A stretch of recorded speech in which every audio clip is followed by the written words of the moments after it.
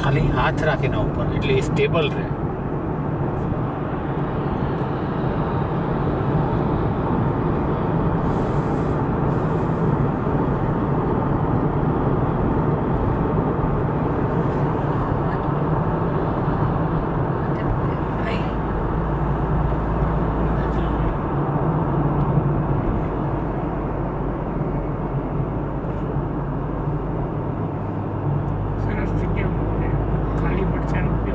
look good.